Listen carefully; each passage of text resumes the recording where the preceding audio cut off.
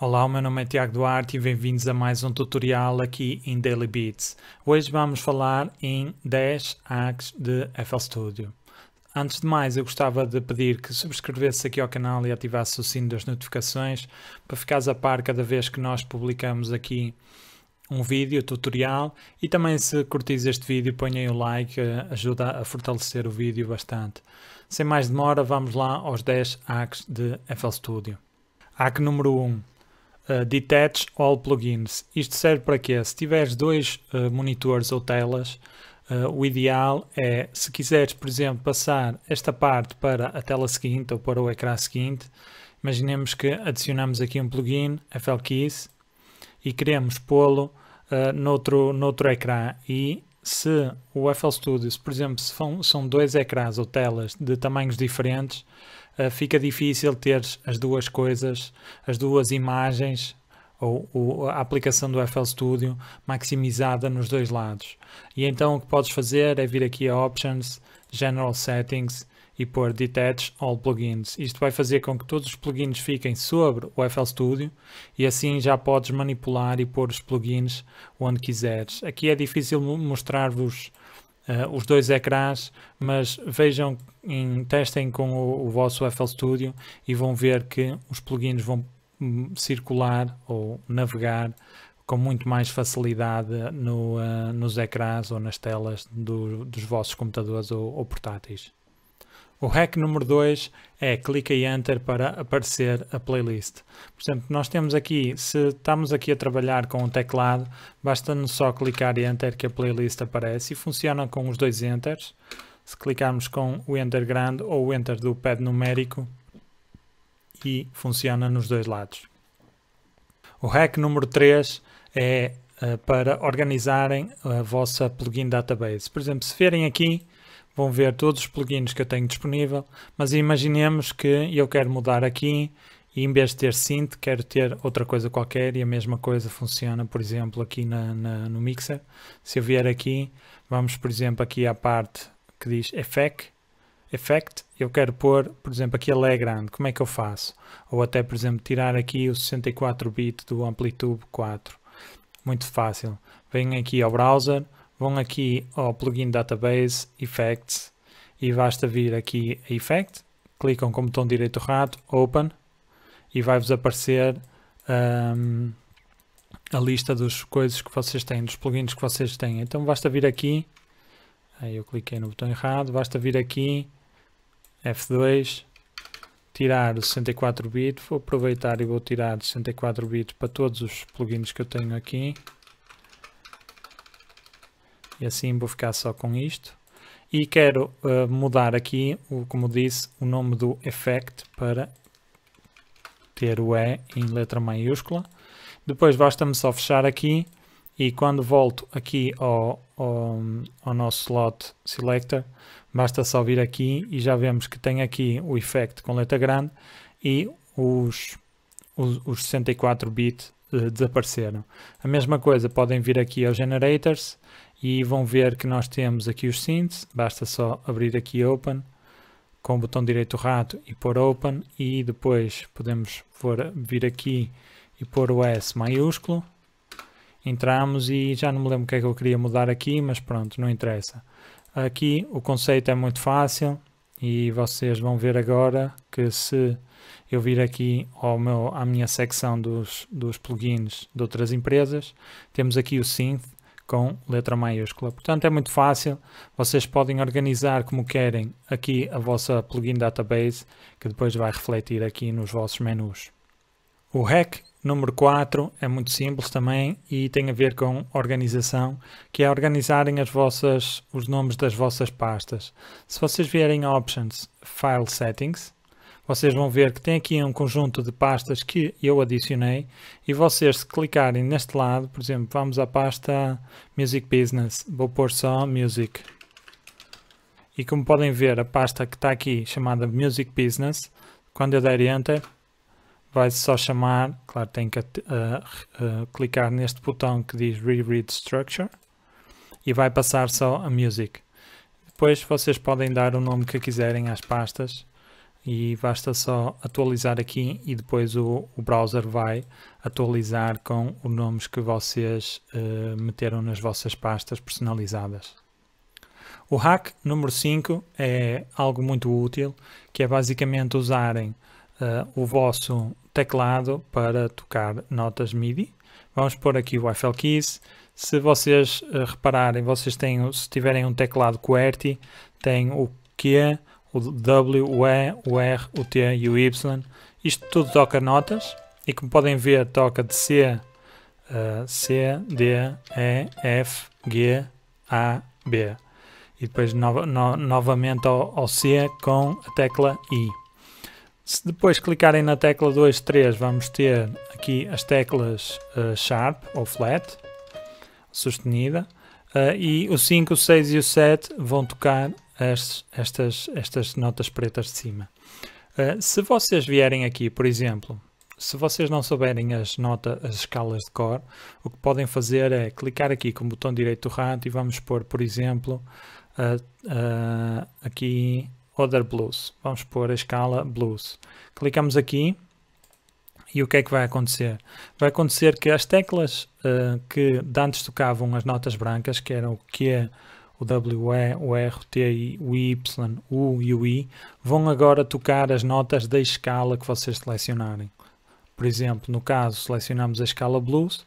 Se eu clicar no Q, que é o C, uh, se calhar vou baixar aqui uma oitava para podermos ver aqui. O C continua a ser o C. O W, o, o Q continua a ser o C. O W agora passa a ser o D sharp. O E passa a ser o F o R passa a ser o F sharp, o T passa a ser o G, o Y passa a ser o A sharp, o U agora é o C, como estão a ver aqui é o C, e de antes era o I. Uh, isto é uma boa forma de vocês, sem saberem escalas, conseguirem tocar conseguirem tocar dentro da, das, das vossas. dentro daquela escala, conseguirem tocar as notas certas, sem terem que memorizar as escalas.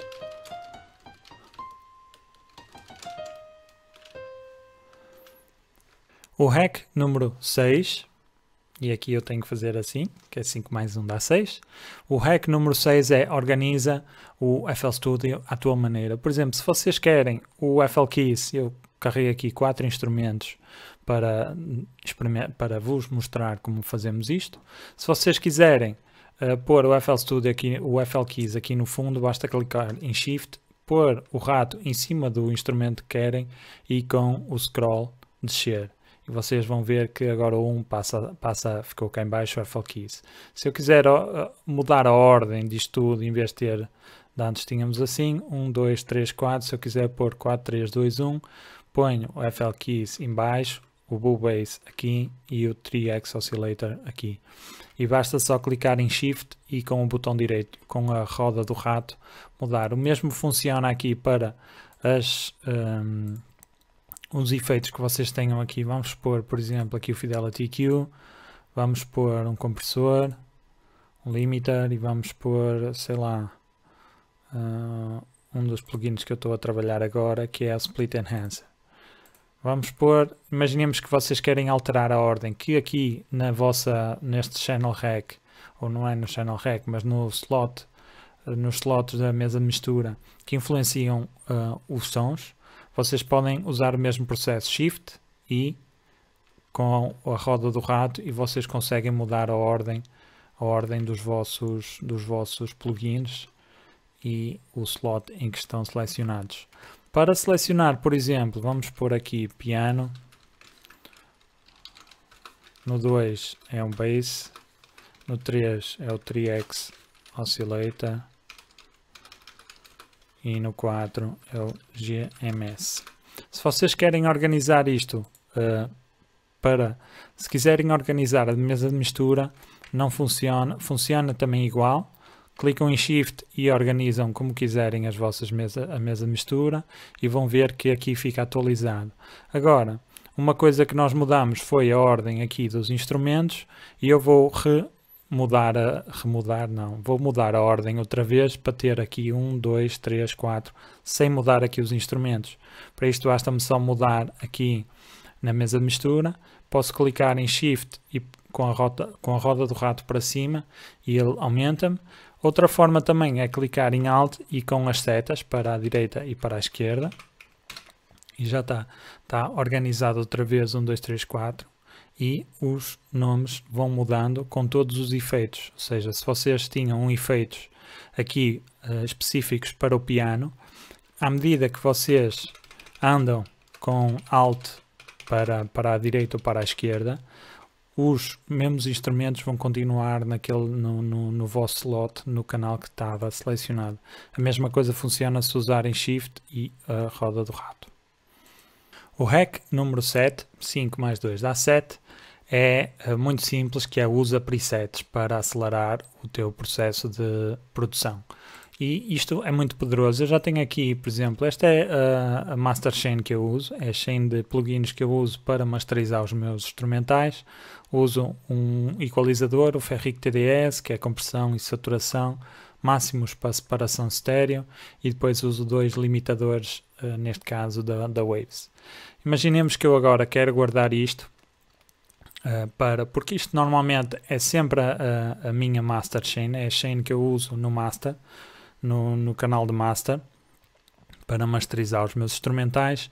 Eu venho aqui este triângulo, vou a File e ponho Save Mixer Track State As.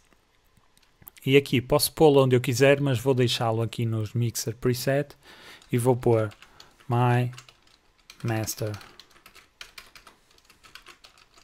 My Master Track. E pronto. E agora, se eu fizer aqui uma, um canal novo, um canal novo, um projeto novo, não vou guardar as alterações e não tenho nada aqui na mesa de mistura. Basta-me só clicar aqui no triângulo outra vez, Open Mixer State, uh, Open Mixer Track State e basta-me só clicar My Master Track, esperar e ele carrega-me automaticamente. E as configurações que vocês fizerem, elas vão ser salvas, por isso tenham cuidado com as configurações que vocês gravam dentro do vosso, dos vossos plugins, porque cada vez ao gravarem isso também vão gravar, não gravam só o, a sequência de plugins, gravam, gravam também as configurações dos plugins. Portanto, convém que ao fazerem isso façam tudo uh, limpo, sem, sem configurações nenhumas, tudo no estado reset ou no estado que vocês queiram uh, e tenham atenção a esse pormenor. O hack número 8, 5 mais 3 dá 8, é uh, muito fácil, que é usa o Alt para sair ou entrar da grid. Imaginemos aqui no, na playlist, eu já tenho um padrão aqui, tem algumas notas, e imaginemos que eu quero colocar uh, este padrão um bocado shiftado à direita e em vez de eu chegar aqui, vir ao Snap to Grid e pôr em None e depois fazer o shift que eu quiser, eu simplesmente posso deixar o grid como, como estiver, posso por exemplo deixá-lo, vou deixar em step para termos aqui a ideia do que é que estamos a fazer, basta-me só clicar, se eu, se eu tentar mover este, esta playlist, este um, clip dentro daqui da playlist, eu vou mudar consoante aqui o snap do grid. Neste caso está em steps, portanto eu vou ter aqui 4 steps até ter uma barra. E então, se vocês clicarem em Alt e selecionarem a vossa, o vosso playlist, vocês vão estar a selecioná-lo como se estivesse em modo None. Se estiverem em modo None e clicarem em uh, Alt, vocês vão voltar para o modo de Step e neste caso é um step uh, de um quarto, não, de um sexto, se não estou em erro. É o step de um sexto, ou seja, eu estou no step de um sexto agora, estou, não clico, uh, não estou a clicar no alt, ou seja, eu vou andar nestas riscas aqui, nesta, nesta grid. Se eu quiser, por exemplo, pôr no meio destas duas, eu clico no alt e ponho aqui no meio. E a mesma coisa funciona se eu tiver em none, em nano, por exemplo, eu posso pôr no meio de onde eu quiser. Mas se eu quiser saltar daqui para a, prim a primeira risca, que é um, um sexto de nota, basta-me clicar em Alt, que eu já vou voltar à grid. Alt tanto, tanto entra como sai da grid, dependendo da vosso, do vosso snap aqui ou da vossa configuração de grid. Se por exemplo tiverem step, se eu quiser andar dentro da, da grid, ando. Se eu quiser andar fora da grid, clico em None e depois movo o, o, o, um, o padrão para onde eu quiser. A mesma coisa funciona aqui no piano roll. Por exemplo, se eu quiser meter uma nota aqui uh, neste ponto entre a metade, digamos que quero meter metade deste step aqui e da barra 2. Eu posso clicar em Alt e mover a nota livremente como eu quiser, sem ter que estar aqui a mudar o grid, pôr em None, mudar para onde eu quero e depois voltar a pôr a grid no step. É um processo mais rápido. O hack número 9, 5 mais 4 dá 9, uh, é muito simples e é muito importante, que é melhora o teu autosave. E se vocês vierem aqui a Options, File Settings, vocês vão ver que o autosave está para Occasionally Every 10 Minutes. Isto é, ocasionalmente a cada 10 minutos. E vocês não querem isto, porque o FL Studio crasha, como outro programa qualquer, e vocês querem constantemente guardar, fazer um autosave do vosso projeto para não perderem, para perderem o um mínimo de informação cada vez que estão a... Um, a criar instrumentais ou a trabalhar em projetos. Portanto, o que vocês querem é frequentemente ou frequently every 5 minutes and before risk operations. Isto é, frequentemente uh, a cada 5 minutos e antes de operações uh, de potenciais, de risco potencial. Isto é, por exemplo, ao adicionar um instrumento, ao adicionar um efeito, já me aconteceu de adicionar efeitos e o plugin e o FL Studio crashar completamente. Uh, já me aconteceu também de estar a pôr aqui na playlist no Channel Rec, meter um som, ao pôr assim um, um hit, o programa crashar e cada vez que vocês importam ou adicionam algum instrumento, o, o FL Studio guarda se tiverem aqui as, as, a opção de Frequently Before Risk Operations. E o último hack, o hack 10, é muito simples, que é se vocês estiverem aqui na playlist, imaginemos que temos aqui uma quantidade de, de, de padrões selecionados, nós fazemos uma seleção da nossa playlist, clicando no Alt e com o botão direito do rato selecionamos uma playlist, uma, uma seleção, fazemos uma seleção aqui na playlist. Se nós quisermos mudar esta playlist sem ter que estar a fazer outra vez a mesma, playlist, a mesma seleção, o que podemos fazer é clicar em Shift por cima da playlist e movê-la. É uma forma muito simples de vocês mudarem a vossa playlist. Imaginemos que estamos a trabalhar nesta, nesta secção aqui. Temos uma secção aqui de, de quatro barras. Deixem pôr isto em modo bar. Temos aqui uma seleção de quatro barras e eu quero começar a trabalhar no, na parte do refrão. Para eu não estar, para eu poupar algum tempo, eu posso clicar em Shift e mover a minha seleção. É uma forma muito mais rápida de, de, fazer seleções e mover a seleção. E a mesma coisa podem fazer assim, selecionar para onde quiserem. Se quiserem aumentar uh, a seleção, basta clicar aqui com o botão direito do rato e uh, mudar a seleção como quiserem. Também é uma forma muito mais fácil de não perderem a seleção atual e expandirem a seleção que já têm sem ter que estar a refazer seleções. E pronto, assim acabamos aqui os ecos do FL Studio. Espero que tenham sido úteis e, e que hum, ajudem no vosso processo de produção, porque eu estou sempre a dizer isto, uh, e aqui é, é, a palavra, a, a fase final do, do, do, deste vídeo, e a mensagem que eu quero transmitir é tornem-se proeficientes no vosso no FL Studio, porque Qualquer programa que vocês usem, vocês têm que uh, tornar-se proeficientes nele para atingir a máxima qualidade, digamos assim, de, de, um, de, trabalho que possam atingir. Porque se vocês souberem quais são os atalhos, souberem como mover, se moverem dentro do, do programa, vai ser muito mais fácil para vocês depois compreenderem a teoria musical e aplicá-la no, no vosso no, no, nos vossos projetos e vão trabalhar também muito mais rapidamente e com mais, com mais conhecimento daquilo que estão a fazer. Uh, por isso, assim, uh, acabo aqui as 10 dicas.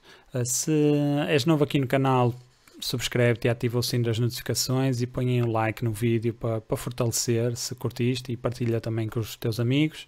E visita o nosso site www.dailybits.pt onde temos lá sample packs e plugins grátis e, e bits também, temos bits grátis. E, um, e pronto, da minha parte é tudo. Meu nome é Tiago Duarte.